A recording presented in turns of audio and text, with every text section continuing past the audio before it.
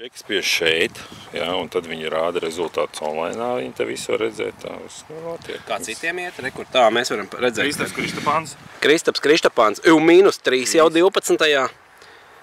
Ilmārs Nagls seniors event tagad ir Mārcis Broders, plus Balbals 1, Cepurī. Andris Cīns plus 1, Mareks Nēm plus 1, Ainārs Počs plus 1. Tāda ir līderu grupa.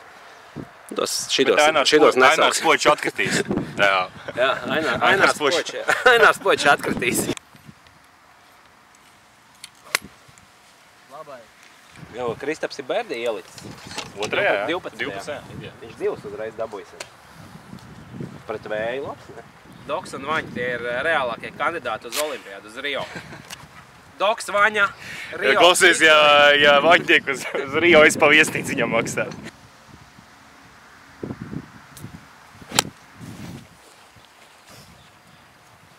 Viņš ir uh, Dāvi stila golfa skolas, nu, tā kā audzēknis.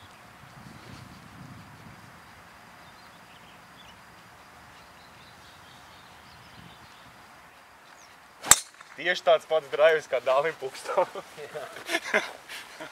Un provizoriski.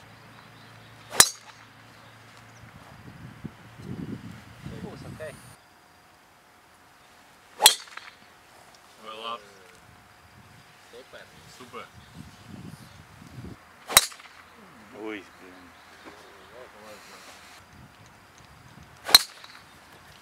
Lai dzīvo Latvijas gols.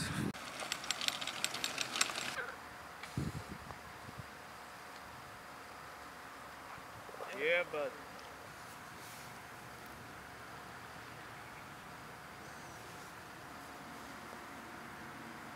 Ko teici? Bija tā stīkociņa.